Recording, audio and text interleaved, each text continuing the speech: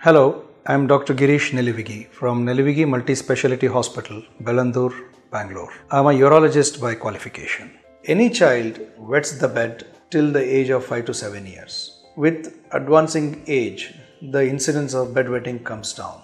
So, by the age of 5 years, most of the children are capable of controlling urine in the night time and if they want to pass urine they can get up and go to the toilet or tell their parents to take them to the toilet. However in some children this control comes very late.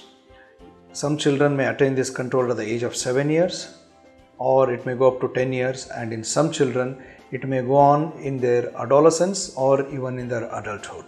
The reason why bedwetting occurs in children who are old is delayed neurological control of urinary bladder to control urination, we need to have a fully developed neurological system. However, the development of neurological system depends on each child. In some children, it occurs normally. In some children, it may be a bit delayed.